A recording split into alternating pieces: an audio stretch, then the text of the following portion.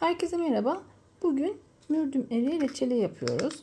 1 kilo eri çekirdeklerinden ayırıp doğruyorum.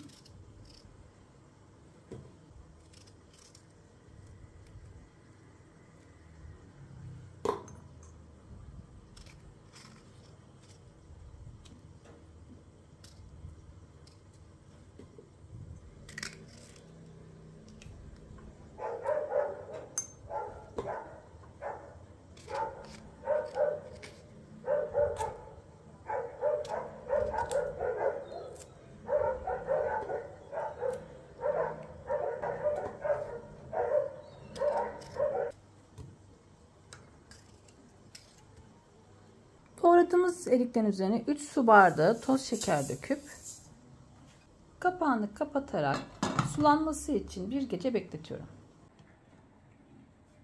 Eriklerimizi bir gece şekerde beklettik. İyice sulandı. Şimdi ocağa alıyorum. Ocağa aldığımız reçeli ara sıra karıştırarak yüksek ateşte 20 dakika kaynatıyoruz.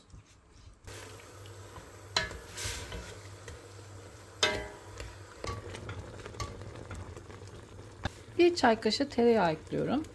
20 dakika yüksek ateşte kaynattım. Ocağın altını kısıp 25 dakika kısık ateşte kaynatıyorum.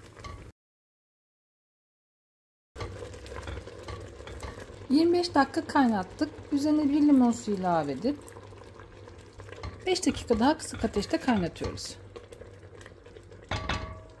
5 dakika daha kaynattık. Ben birazını uzun süreli konserve şeklinde saklayacağım.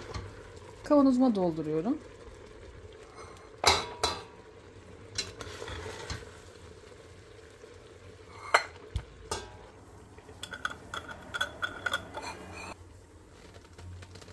Tezgahıma ters çeviriyorum.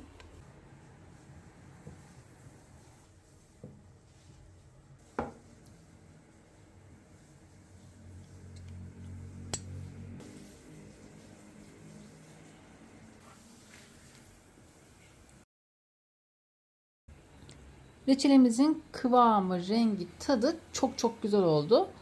Siz de bu tarifi yapmak denemek isterseniz şimdiden emeğinize elinize sağlık. Hepinize afiyet olsun.